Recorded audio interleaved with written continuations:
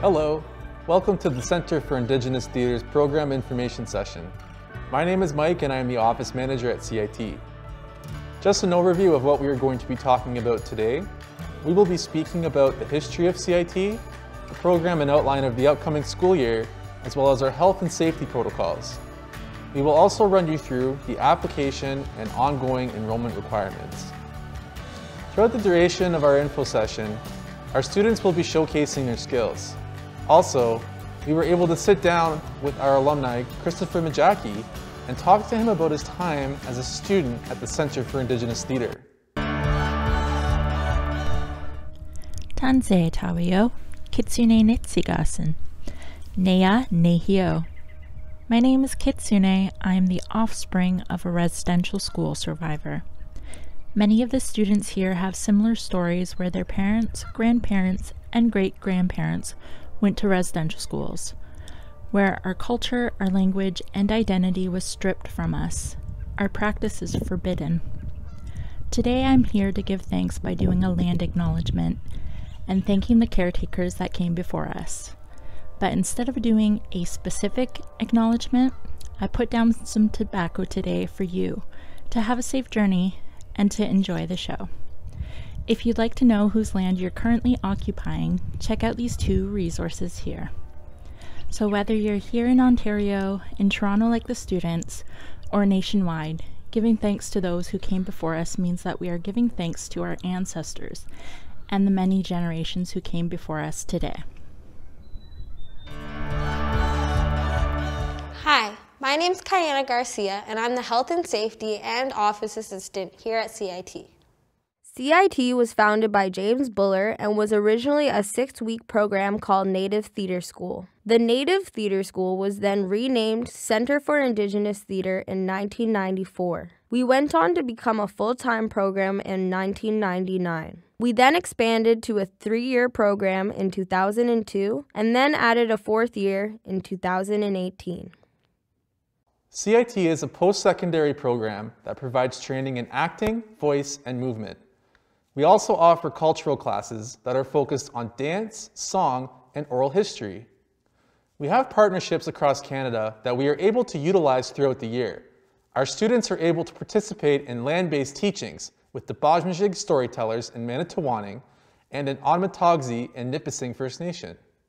Now it's time for our first student video. Fourth year student Teresa Cutknife has created a six part series. Have a look at part three.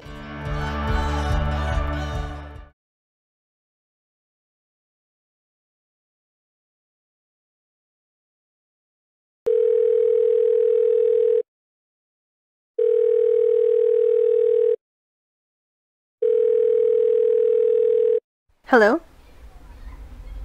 Hi. I'm I'm good.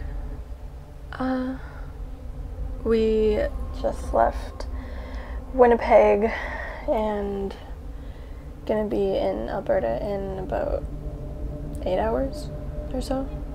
Depending. No, yeah, the drive's been good. Um first we were in in Sault Ste. Marie, stayed the night, traveling from Toronto and from Sault Ste. Marie to Winnipeg, and now we're in that last home stretch. Yeah, a lot of driving, but it's all worth it. or at least I think so. Um,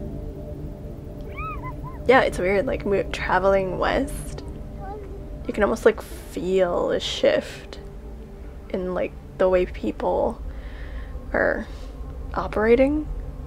Some of the places that we've stopped, like for gas and things like that, it almost seems like regulations are less. Not as many people are wearing masks and things like that, so it kind of just makes me wonder about what it'll be like when we get to Edmonton. Yeah, I have to quarantine. I'll be in Edmonton for two weeks. But after that, I would love to see you. I would love to hang out. okay. Well, I'll message you when I get there. Okay. Love you. Bye.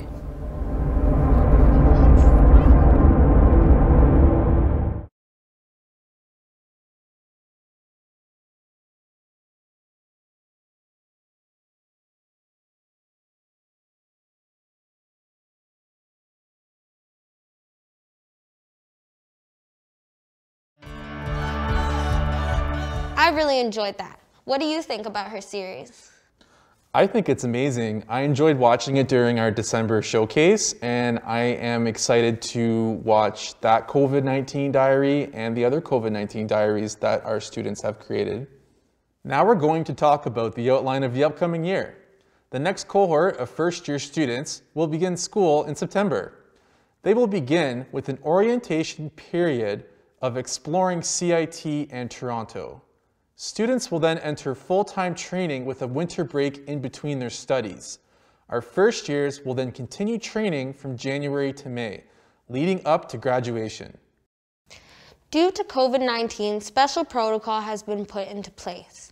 This includes, but not limited to, mandatory social distancing and facial coverings, as well as sanitization and screening before entering CIT studios.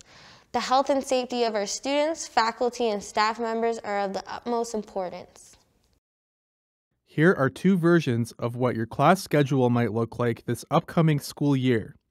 As you can see, one schedule includes 100% in person training, and the other schedule includes a mixture of 60% online training and 40% in person training. As our current health and safety regulations continue to develop, your training may be influenced by COVID 19. You have a variety of classes at CIT, including dance, voice, physical theater, singing, and story creation. It's now time for our interview with Chris. We were able to sit down with Chris and ask him about his time at CIT. What career have you been able to pursue while since graduating from CIT? Well, after I graduated from CIT, I got accepted into another theater program, uh, the acting program at the National Theatre School of Canada, which is located in Montreal, Quebec. So I had the great fortune of doing that program. Uh, I graduated in 2018. So since then, I moved back to Toronto and I've been slowly building and starting a career in the arts. Um, I've done it as an actor I've done it as somebody uh, who's worked in movement and dance. I've done it with uh, myself merging as a playwright. I've also done uh, voice work for books on audio and um, a little bit of film and television too. I've done uh, quite a few non-union gigs and I've done uh, one union commercial and then I've done a, a few non-union TV film stuff and then one um, uh, union uh, feature film. So I, I've, I've been pretty fortunate and very grateful, very lucky, very hard work, just, just sort of everything kind of lined up the way it did um, after graduating CIT. Uh, so I, I feel like I've done pretty good. I've, I've, I've done well. I'm not doing the most amazing and I'm not like falling behind. I feel like I'm exactly where I should be. And even during this whole pandemic, uh, I've been given the tools by CIT, by NTS, all of my training coming together and just the life that I've lived and the character and just the experiences that I have um, have just blessed me with this ability and these skills and this sort of heart. This it just gave me everything. So I go, what do I want to do in life? I mean, it took me a while to find it, but when I eventually found the arts, theater, whew, I love it. Storytelling. I mean, it's a part of our people, right? Our people, it's it's an oral culture. We share things orally. We talk. You know, we get into a circle and we talk, and there's no nobody's writing stuff down. Who's writing stuff down? Hey, hey, crazy foot. Hey, get that birch bark out of here. Get it out. You know we don't write this stuff down. Yeah. Anyway, we just that's what we do, right? We share. We get into a circle, we talk to each other, we take in the energy, and then we carry it until we're ready to pass it and share it again. So because our people are storytellers, I just feel like it was something I've always had in my life. This like, oh, I want to tell a story, like this experience I had. Oh, this person's telling a story. Everybody gather around the campfire, like, like let's listen to grandma, whoever it is. So I, I, I love storytelling. And at CIT, it gave me the base and the foundation for storytelling. Thank you, Chris. We appreciate your time. That interview was very entertaining. Now it's time for our first year student, River Waterhen, to perform a dance piece. Take a look.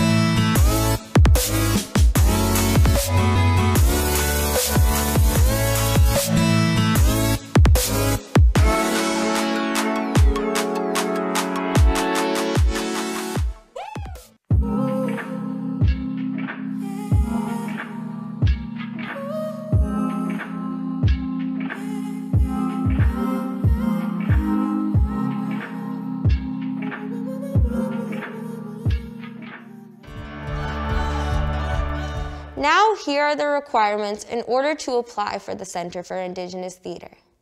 You must identify as First Nations, Metis, or Inuit. You must be 18 years of age or older. You need to have a grade 10 English level or higher. Have an interest in acting, movement, voice, self discovery, and theater, as well as an interest in exploring Indigenous knowledge. An updated resume, a 500 word essay expressing your interest in theater and coming to CIT two references that can vouch for your interest in theater, a photocopy of your health card, and an audition video of you doing some script work. To make things easier, we've created a video on how to do an audition at CIT. Take a look.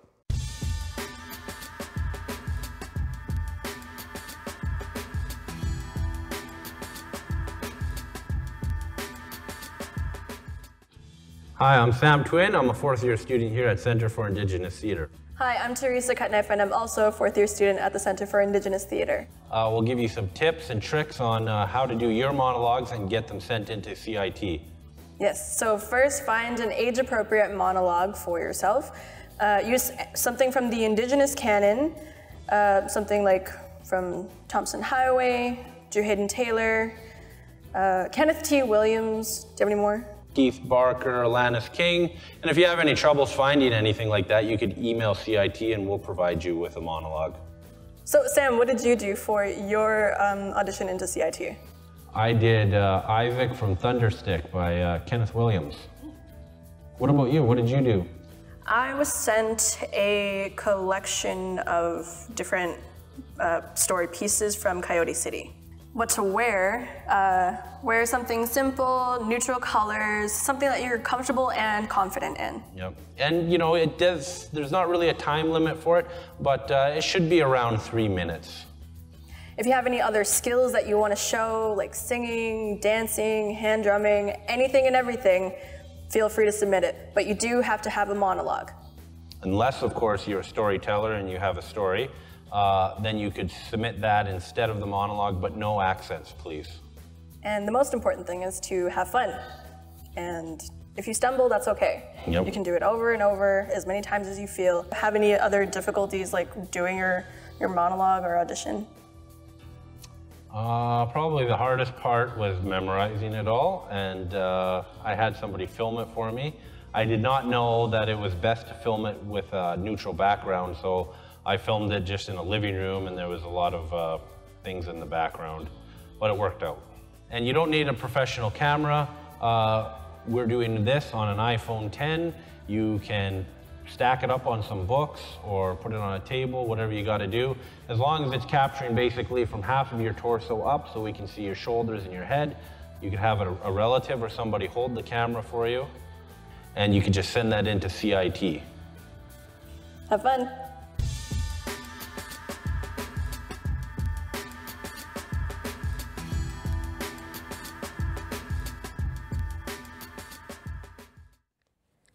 Some ongoing requirements to remain in the program are that you must be on time and present for all classes, and you must be actively looking for funding while you attend your studies.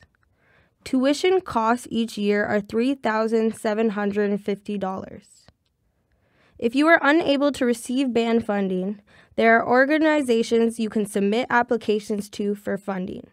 These include, but are not limited to, Inspire Foundation, Métis Nation of Ontario, Canada Post, Mississaugas of the Credit, and other local organizations. If you are in need of funding assistance, contact us at the Center for Indigenous Theatre. No student is ever turned away due to lack of funding. Please don't forget to follow us on Instagram and Twitter and like us on Facebook. We would like to thank our funders. With their generous support, we are able to provide a school for our students. We thank the Department of Canadian Heritage, the Ontario Arts Council, the Toronto Arts Council, Miziwe Biik Aboriginal Employment and Training, BMO Financial Group, Hastings Park Foundation of Rights and Freedoms, and Ontario Arts Foundation. And thank you for attending our program info session. If you have any questions or comments, please leave them in the comments section below. Thank you, and we look forward to seeing you soon.